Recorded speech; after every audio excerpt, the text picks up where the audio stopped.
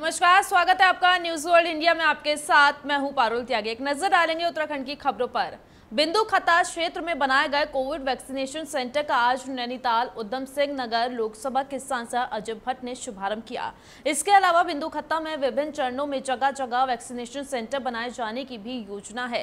सांसद अजय भट्ट ने जानकारी देते हुए बताया कि 45 साल से ज़्यादा उम्र के लोगों को वैक्सीनेशन कराए जाने को लेकर शासन ने ठोस निर्णय लिया है, जिसके तहत यहाँ वैक्सीनेशन सेंटर का आज शुभारंभ किया गया और उन्होंने कहा कि सरकार की पहली प्राथमिकता है कि हर आयु वर्ग के लोगों को वैक्सीनेशन लगाई जाए। इसी क्रम में लालकुआ में भी 18 साल से ज़्यादा और 45 साल से ज़्यादा के लोगों के वैक्सीनेशन सेंटर बनाए गए हैं और लोगों की मांग के अनुरूप बिंदु खत्ता में भी वैक्सीनेशन सेंटर बनाया है। करीब अस्सी हज़ार की पॉपुलेशन मिला के होती है बिंदु खत्ता और लाल कुआँ को। तो एक्सरे मशीन यहाँ काम नहीं कर रही है, मुझे बताया गया। तुरंत मैं तो अभी उसकी घोषणा कर रहा था, परंतु यहाँ पद इसके टेक्नीशियन का सृजित नहीं हुआ है। तो मैं तुरंत इसको लिख रहा हूँ, अपने उच्चाधिकारियों को जो सेक्रेटरी हैं या फिर अन्य लोग जो भी इसको स्वीकृत करेंगे, कि तत्काल प्रभाव से ऐसे महत्वपूर्ण स्थान पर टेक्नीशियन का होना अति आवश्यक है। पौड़ी गढ़वाल के चौबट्टा खाल विधानसभा में कोरोना महामारी को देखते हुए जिलाधिकारी द्वारा हर ग्राम सभा में क्वारंटीन सेंटर बनाए जाने को लेकर निर्देशित किया गया था, जिसके तहत आज उप जिलाधिकारी चौबट्टा खाल संदीप कुमार के द्वारा देवरा खाल और खेड़गांव ग्राम सभा में क्वारंटीन सेंटरों का निरीक्षण किया गया। निरीक्षण के दौरान क्वारंटीन सेंटर में काफ़ी खामियाँ पाई गई, जिसे लेकर उप जिलाधिकारी चौबट्टा खाल नाराज़ होते दिखाई दिया। और संबंधित नोडल अधिकारियों को तुरंत खामियों को ठीक करने के लिए निर्देश दिए।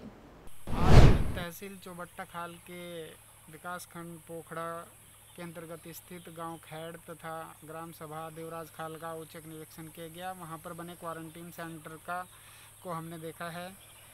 वहाँ पर जो क्वारंटीन सेंटर है, वहाँ पर बिजली, पानी की व्यवस्थाएँ सही हैं, बेडिंग भी करा दी गई है।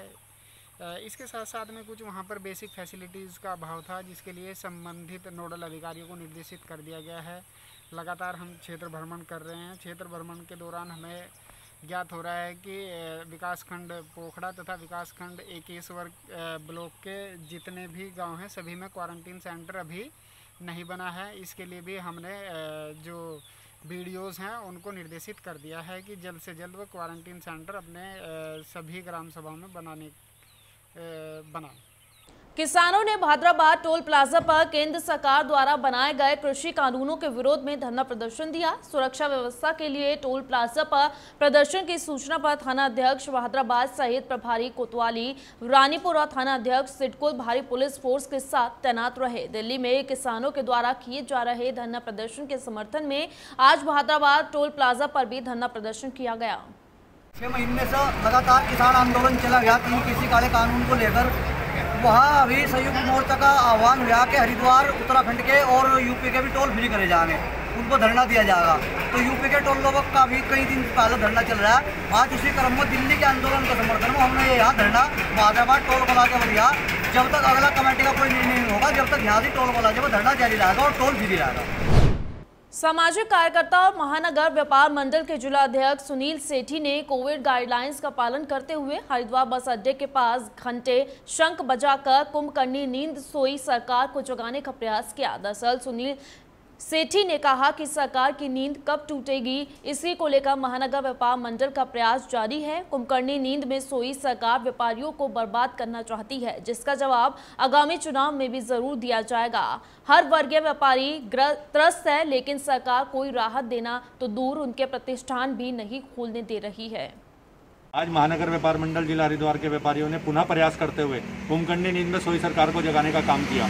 जिस प्रकार आर्थिक पैकेज न देके प्रतिष्ठानों को बंद करके सरकार हटकर्मिता में उतारू है, उसी प्रकार महानगर व्यापार मंडल लगातार ऐसी कुंभकर्णी नींद में सोई सरकार को जगाने का प्रयास जारी रखेगा।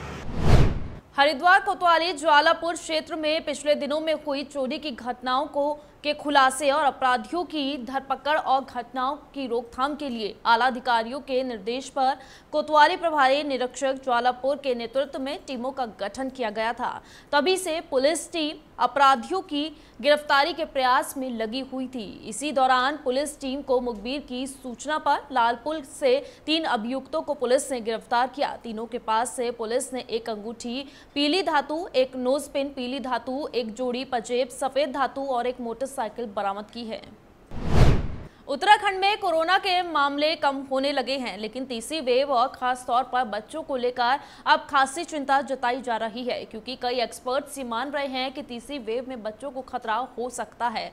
उत्तराखंड के स्वास्थ्य सचिव अमित नेगी का कहना है कि तीसरी वेव को देखते हुए प्रदेश में पिछले दो हफ्तों से ट्रेनिंग सेशन चलाए जा रहे हैं, जिसमें डॉक्टर्स के अलावा मेडिकल स्टाफ को भी ऐसे माहौल में काम करने की जानकारी दी जा रही है। इसके साथ ही अस्पतालों में बच्चों से संबंधित ward ICU, PICU, CCU NICU की व्यवस्था को भी दुरुस्त किया जा रहा है। स्वास्थ्य सचिव का कहना है कि प्रदेश के सभी मेडिकल कॉलेज और हॉस्पिटल के साथ लगातार इस संबंध में बैठक ली जा रही है।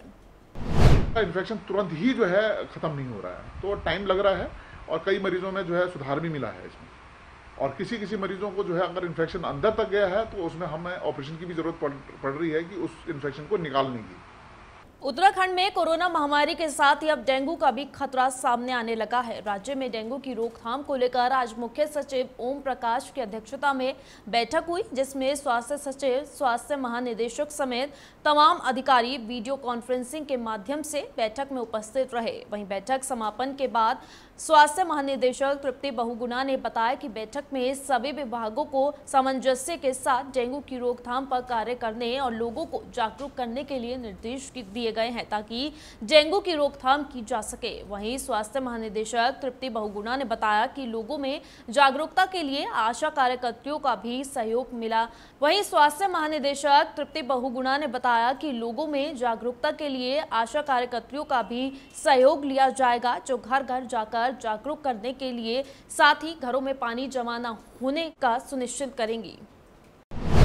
हमारे मुख्य सचिव महोदय की अध्यक्षता में डेंगू के ऊपर एक मीटिंग हुई है और इसमें यही निर्देश सारे जितने डिपार्टमेंट्स हैं हमारे, या मुझे नगर निगम देख लीजिए या हमारे पेयजल जल संस्थान आई सी आई सी डी एस है, और इसको एजुकेशन डिपार्टमेंट सारे डिपार्टमेंट्स को जोड़ के ये बताया गया कि हर लोगों के ये एक सिंगल आदमी ना सिंगल डिपार्टमेंट कर पाएगा।